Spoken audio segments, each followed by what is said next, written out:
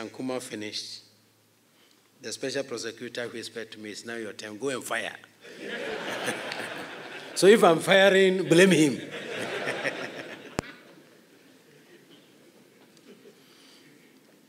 I know the vote of thanks will come, but I'm humbled by the presence of His Excellency the Vice President and also the chairman taking time off their busy schedules to be here.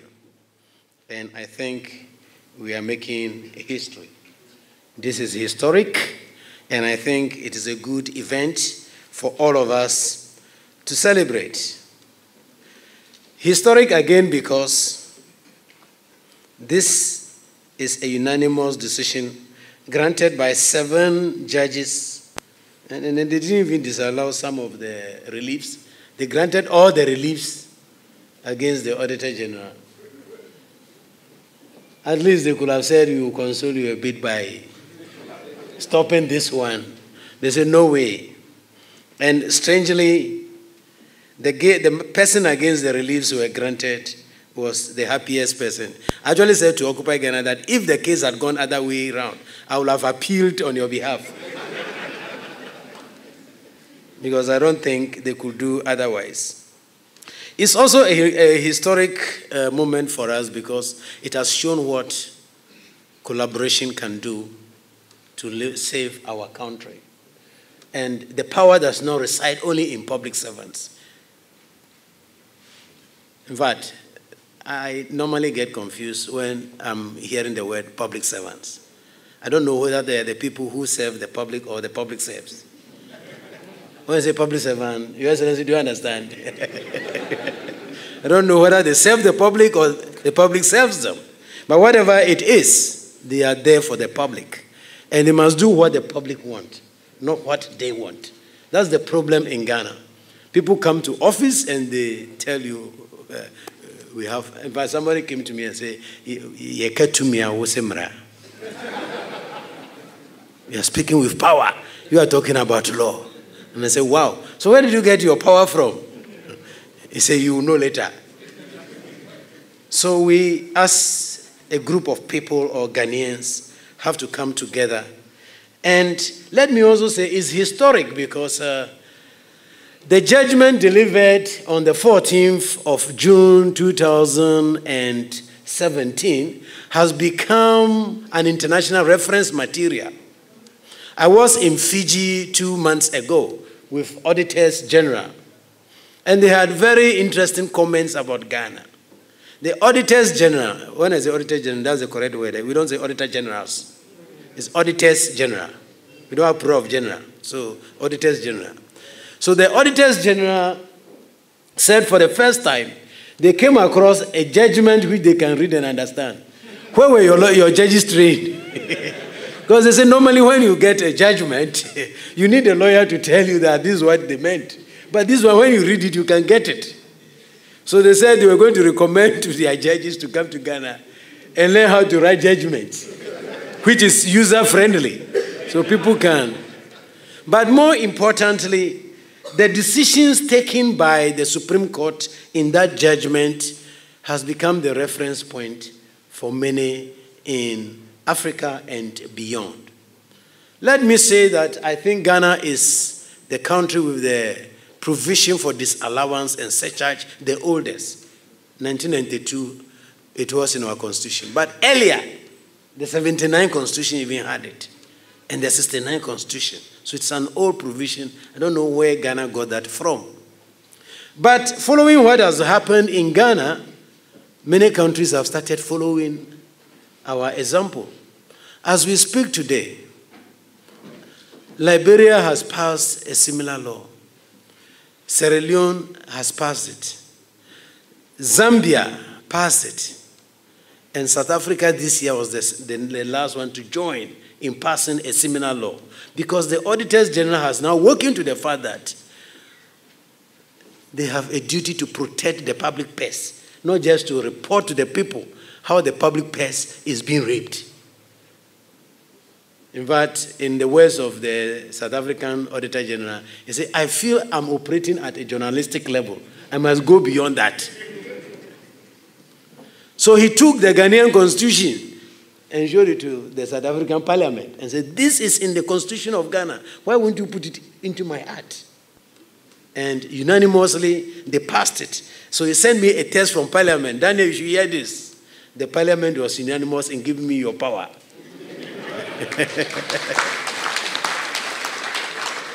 Unfortunately, February this year, the president also gave assent to it. So it has become law in South Africa. So we are leading the way for this type of accountability and transparency to happen. Your Excellency, I came back from Egypt yesterday. I was in uh, what they refer to as the first Africa Anti-Corruption Forum. They made a mistake to make me one of the speakers. And I didn't waste time to tell them what we are as Africans. We copy all the things and paste it wrongly. We pay lip service. And being an accountant, I told them we believe in form than substance. In accounting, substance over form. But what do we do in Africa? It's form instead of substance. Yes, let's establish a judicial system. We establish it, and then we under resource them. Even book to write on becomes a problem. I'm sure the police may say the same. At times you go and they want to help you, but they are helpless. He himself needs help as a policeman. so how does he help you? We set up the institution and all the structures, beautiful, but we under-resource them, make them impotent.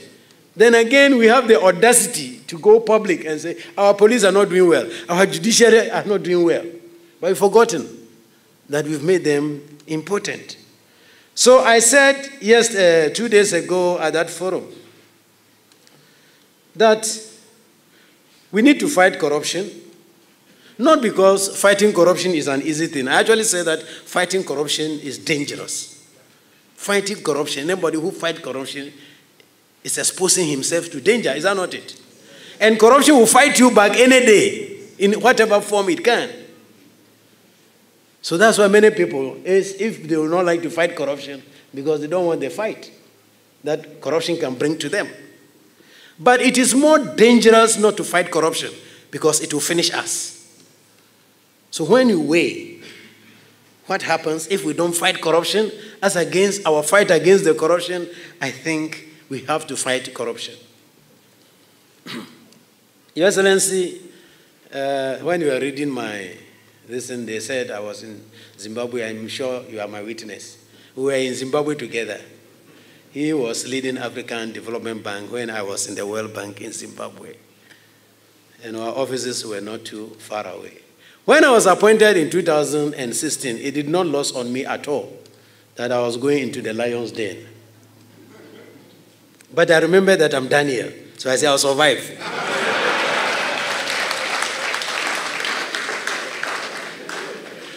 Because I knew that given my nature and character, it was going to be very difficult sitting there as Auditor General and not doing anything about it. I will do something. And when you do something, they will also do something to you. But I said, I will go. And here we are. I must say that it has been a collaboration, and I love it a lot. First, the legislature has been very supportive in approving budgetary allocation to the Ghana Audit Service. Amounts which are about threefold what it was before I came to office. The executive has been very supporting, and I said it in uh, Egypt. I said the problem about Africa is that we set up all these structures and we don't fund them. But in Ghana, I've received not everything that I wanted, but a substantial increase in support. So if we are doing something which you people say you've heard from Ghana, it's because the government is resourcing me. So when you go back, resource your agencies that are fighting corruption. Don't just go and establish them. Fanfare. And that's the end. So I must say the executive has played its part. I hope you are aware when there was a change in government, the first, one of the first announcements we had was a ban in procurement of vehicles. Is that not it? But this was the time that government gave us the permission to buy 34 vehicles to support the audit service. We have never bought 10 vehicles in the history of the audit service before. But this permission was granted. Up to today, some are struggling with financial clearance to recruit staff. But government gave us the permission on two occasions. As of today, we have recruited from 2017 to date more than 400 additional staff to support us to do our work. That is the practical way of fighting corruption. It's not by the slogans. I'm not saying the slogans are not good.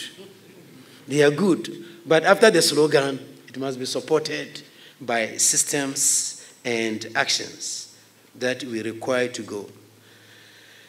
As for the judiciary, I cannot thank you enough. Because now, if I'm disallowing and surcharging, I can only blame you. That the Supreme Court says I should go, and I'm going. Because ACE have made me to know that I will be in contempt, and I don't want to be, ever be in contempt of the Supreme Court. So that's why I keep pushing. But, Mr. Chairman, when you go back, my thanks to the Chief Justice. She has been very cooperative by dedicating only four courts where you can appeal against my disallowance and surcharge. Otherwise, it will be a disaster for me. Assuming there's an appeal in Tamale and then one in Sunyani and one in Ho and one in Accra, one in, I don't know how we would have handled it. So when I had discussion with her, she said, requests and I'll dedicate an, just a limited number of courts where your appeals can be heard. And that has made the work easier for my legal team. So this is a very good collaboration. The collaboration goes beyond that. The civil society, including Occupy Ghana and others, but I don't know why you have remained Occupy Ghana up to this time. You should become Occupy Africa. Go beyond Ghana. so think about the next stage. You say you were occupying Castle, uh, what is Flagstaff House and became Ghana. Now Africa. Occupy Ghana, we cannot thank you enough because they have threw a challenge to us. And that is why we have done what we have done. Let me say, the public at large has been very supportive. To be very honest with you, I've done several special audits based upon tip offs from the public. They tell me, this institution, this is what is happening. And I'm very happy receiving those information. I tell people, if you like, don't give me your name. Just let the information reach me. And some of them, I send my team there to do a verification, and they tell me, sir, it seems what the people said is true. So let's go deeper. And so by the end of the year, sorry, the end of the month, you will see the report on special audits, and you see how the looting is continuing. The cow is still fat, and people are taking their share of it but we will not stop there. Permit me to acknowledge my staff. Please, Ghana Audit Service staff who are here, please, can you get up?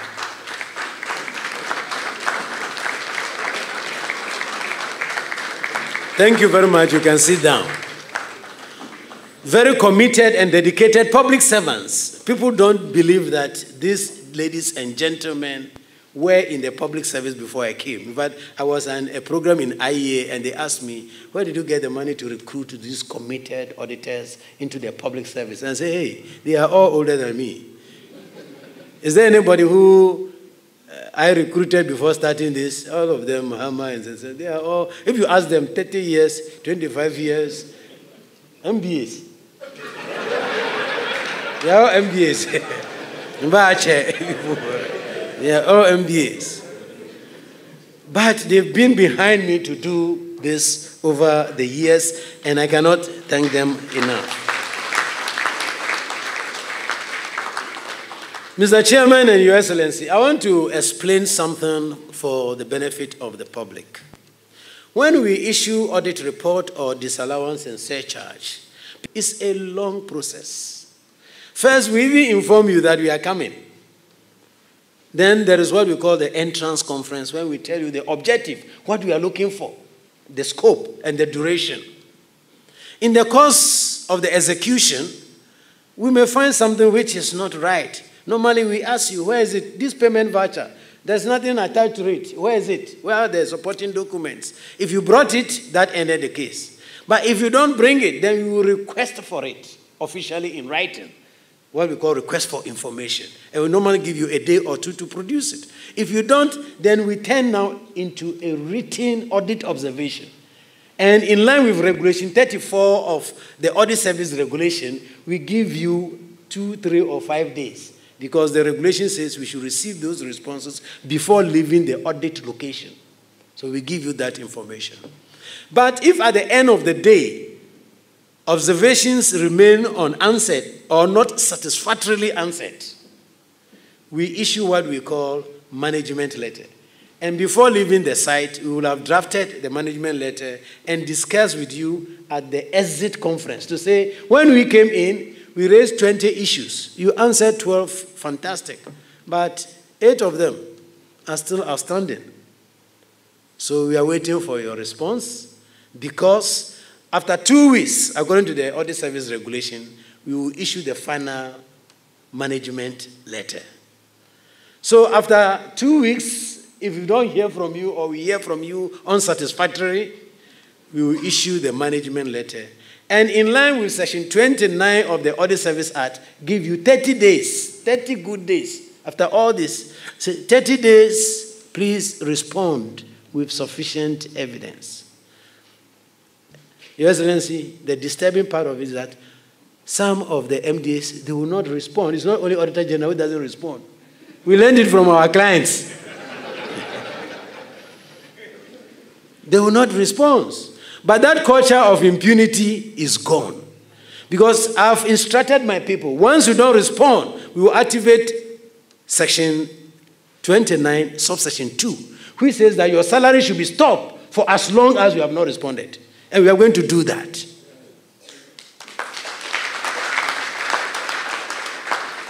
Because being a public servant, you must be accountable for your stewardship. So when there are questions about your stewardship, you must respond. If we are wrong, just prove us wrong to say, look, auditors, you got it wrong. Here's the evidence. Full stop.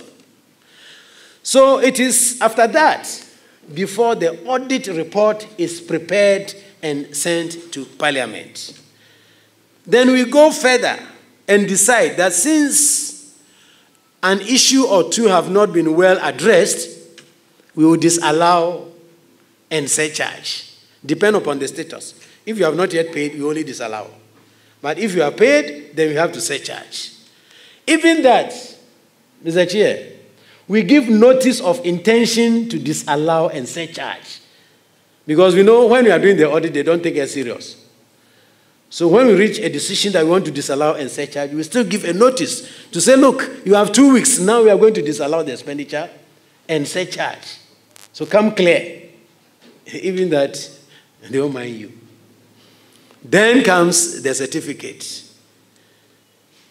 So I just want to bring this to the notice of the public that our reporting is a bit different from what the journalists will be doing today.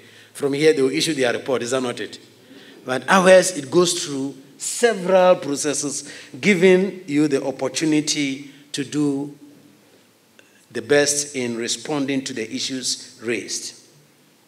Let me say that in addition to that responsibility is one other responsibility which I was surprised Mr. Rand didn't talk about.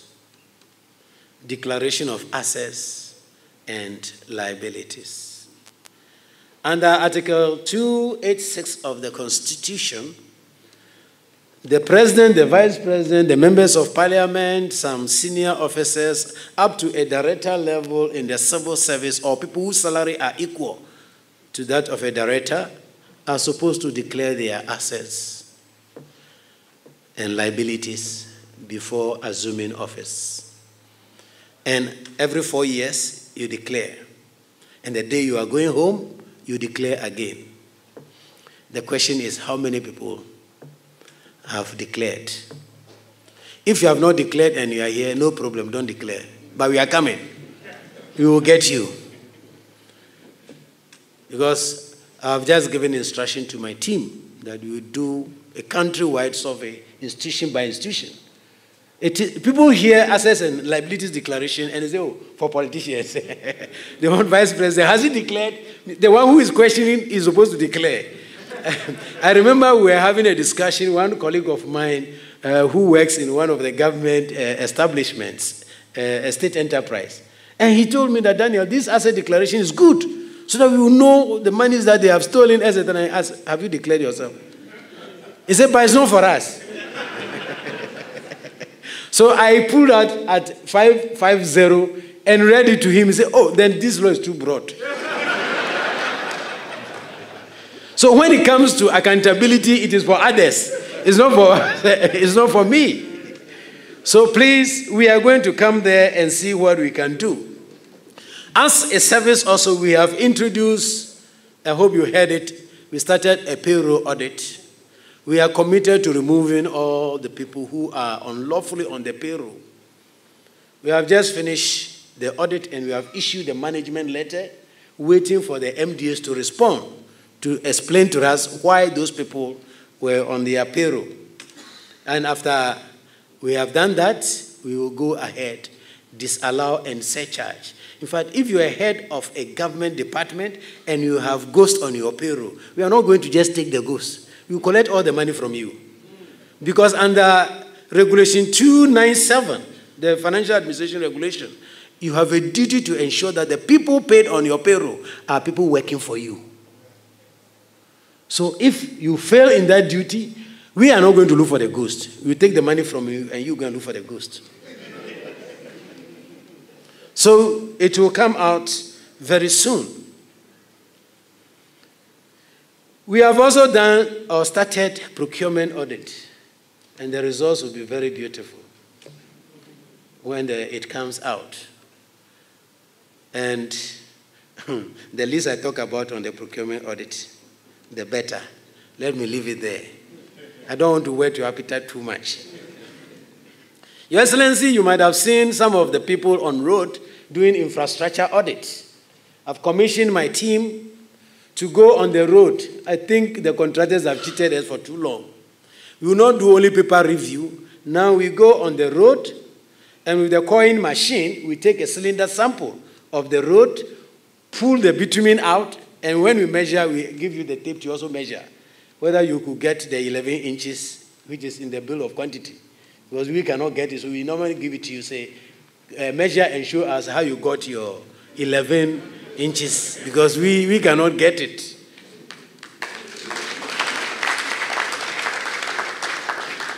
And the first question I got is, Do you have the competence of doing that? I said, Yes, we are more than competent to do that.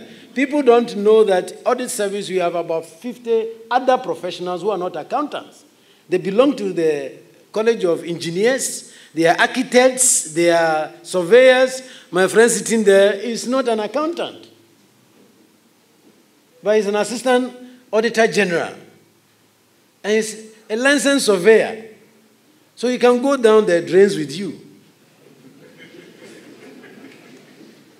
And I think we have to explore all this to protect the public purse. Don't, doesn't it hurt you when you are driving to work and you enter pothole? And at times the road has been constructed three months or barely one year, and it is like hell. Anytime I travel with my deputies, I disturb them a lot. When we land outside the country, I ask them, Are you seeing the road? They say, Yes. I say, Why can't we have that in Ghana? And, Your Excellency, the disturbing part of it is that you compare notes with your colleague auditors general and you realize the cost of construction, even in Ghana, is higher than those good roads. So you ask yourself, what is wrong with us? After we have done all this, we turn around and we look to uh, His Excellency, the President, and the Vice to fix all our problems. I'm sure they are magic people, so they have magic wand. I'm, I'm saying that it's disturbing that we don't realize that it's a collective effort of ours as Ghanaians. Yes, our police are not making the country safe. What have we contributed? Are they God? Please, can you answer me? Are you God? They are not God. They can't be everywhere. We all know the criminals. We will not expose them. We will not give any tip off. And then we want the criminals to be arrested. So it is time for change, I think, in our attitude, so to get Ghana to a better place that we want it to be. When it comes to the topic of today, which is moving from surcharge to safeguard, and I cannot agree more with my colleague, Mr. Is Usu, uh, Ankuma. So why don't normally want to give you Usu? Is Ankuma because of Papa Usu Ankuma. He's older than you, so his name overrides yours. No problem. Great. I must say that it comes from the old saying, prevention is better than cure. Is that not it? When it comes to corruption and crime, it's better to prevent. It's easier to prevent than the cure. Because after, especially corruption, after they have benefited from corruption, they become very sophisticated. In fact, they can hire the best lawyers in town and at times even hire the judges. Uh, I don't know if they are available for hiring.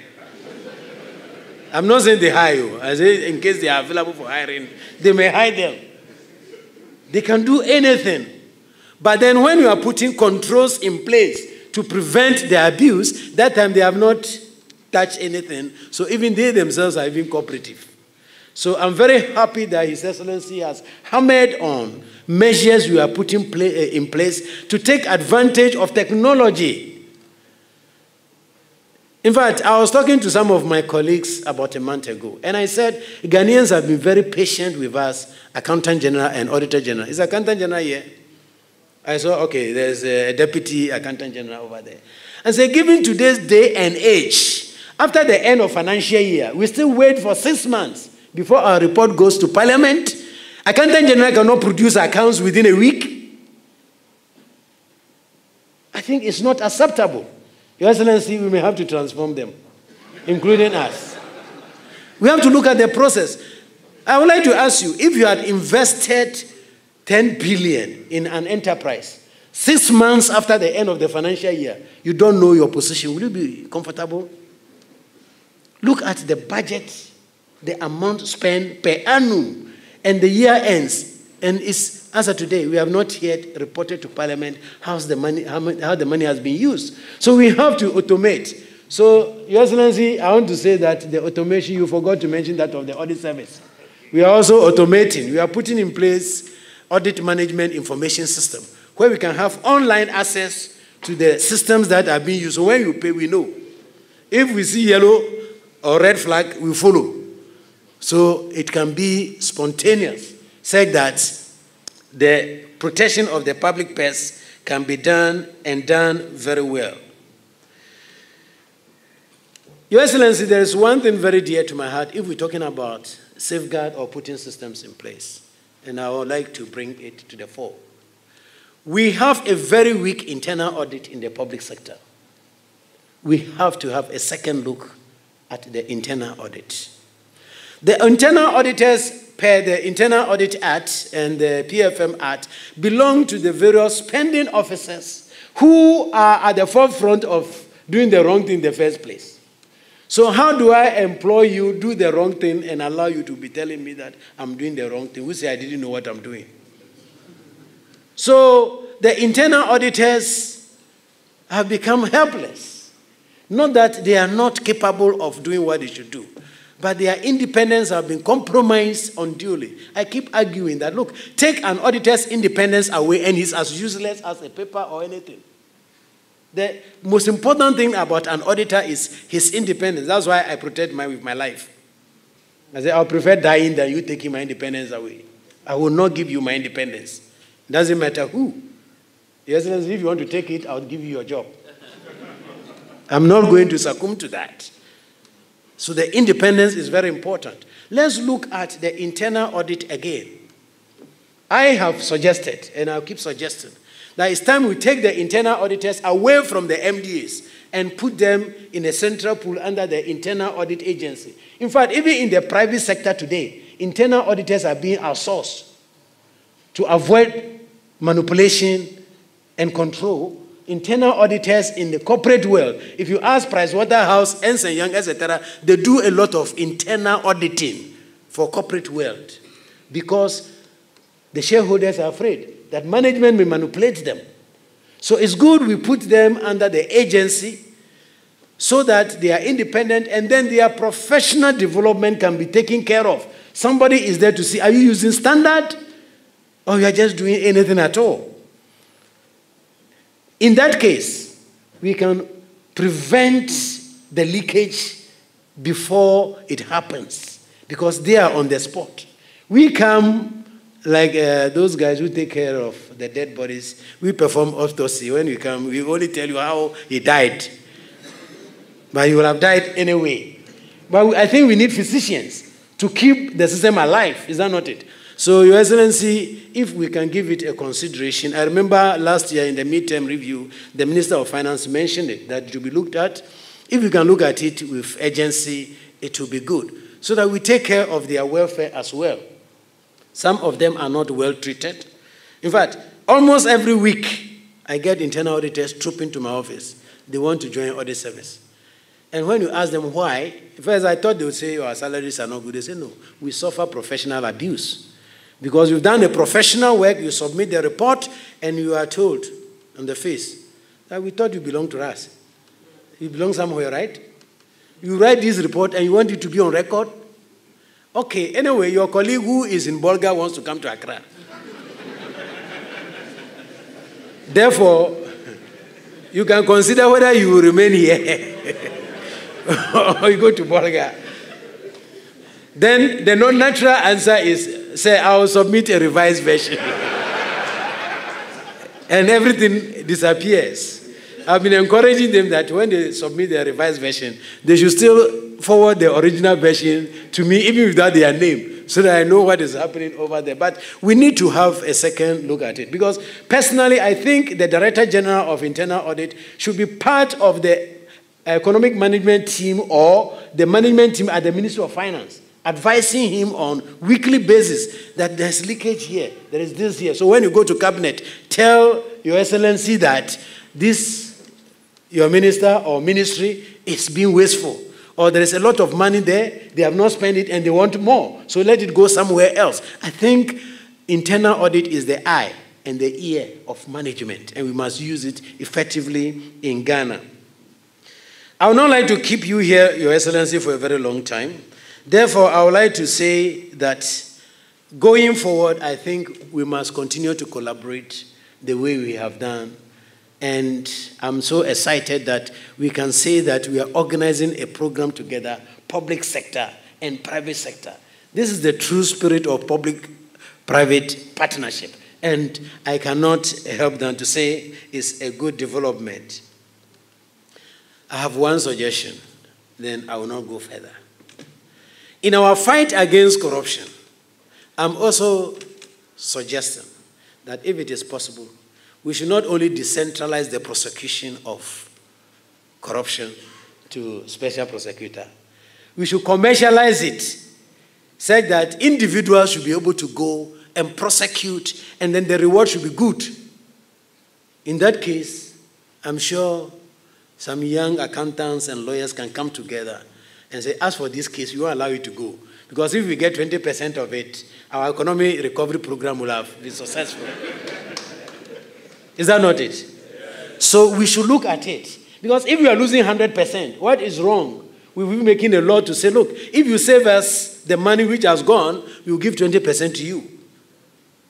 And if we do that at a country, at least we'll be able to bring back this money. And of course, it means the prosecution will not be at the whims and caprices of one individual or institution. If they refuse to go, Ace can go. If because he has become my friend, he will not go, you can go. And that is the only way that I think we should protect the public purse and make it safe. I would like to assure that Ghana Audit Service under my leadership, we remain committed to protecting the public purse, and we will do whatever it is in our capacity to continue doing. We call on the society, we call on Ghanaians to support us in protecting the public purse. Thank you very much.